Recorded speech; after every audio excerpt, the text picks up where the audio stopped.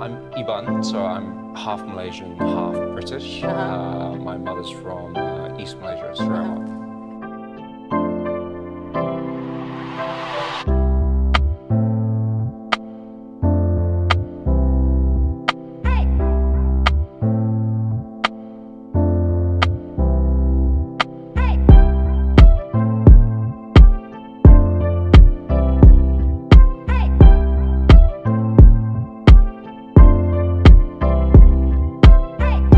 There's nothing that is being discussed about mixed race people and how they can own their uh, their ethnicity. And the one thing that I learned very young was to own my identity. Yes. Um, I'm, I'm super confident in who I am, um, and I am Asian, so there's, there's no two ways about it. And you know how Asian being from Sarawak and being from the tribes is. Um, you know, having to explain myself wasn't something that I didn't think I needed to do.